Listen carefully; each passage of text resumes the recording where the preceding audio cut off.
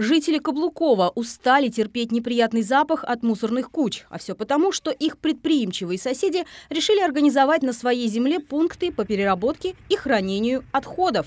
Территория площадью полторы тысячи квадратных метров, разделенная на два ничем не огороженных участка, принадлежит разным собственникам. В общем, удручающее зрелище с явными элементами беззакония. Мусорные кучи и неприятный запах серьезно беспокоили местных жителей. В прошлом году мы еще приезжали, увидели, мы как бы летом здесь только живем. Мы приехали, здесь стояло очень много контейнеров. Мы приехали, увидели человека, который это привозит. Мы спросили у него, что здесь происходит. Он говорит, я на неделю здесь буквально поставить. На неделю, через неделю уберу. И так это продолжалось вот до мая месяца. С контейнером стояли, привозили бытовой мусор. Э, иностранные граждане его перебирали днем, сортировали. Да, все прямо здесь.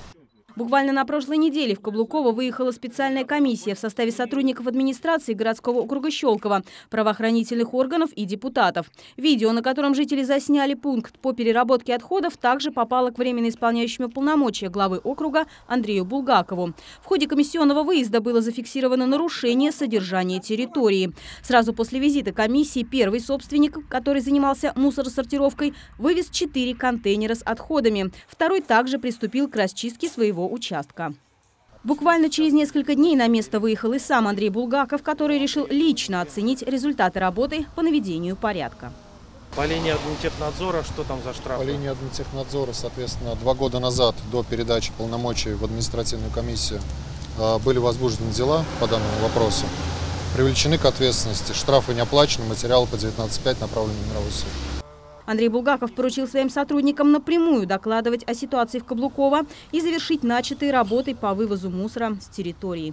Если есть фонящая проблема, волнующая, да, тем более с мусором, э, надо через курирующего заместителя, через заместителя главы минимум, да, звонить ему, уведомлять. Все, у нас есть дежурная служба, ЕДДС, дежурная часть полиции, все фиксируется. И тогда это как бы идет на контроль. А когда куда-то бумажки идут, это все, это прошлый век. Результат работы такой. Первый собственник перестал выходить на связь. Им будут заниматься правоохранительные органы, пока вывоз отходов производится без его участия. Второй горе-предприниматель вывозит контейнеры с мусором самостоятельно. Местные жители этому событию очень рады. Они выразили благодарность Андрею Булгакову за оперативную реакцию на их обращение. Мы здесь уже давно и на самом деле помню красоту, которая здесь была, и видя вот эту, вот эту свалку, это, конечно, вот несоизмеримо ничем. Спасибо огромное, потому что надеемся, что больше такого не будет здесь. Будет красота и будем отдыхать. Лилия Тимиева, Сергей Максимов, Щелковское телевидение.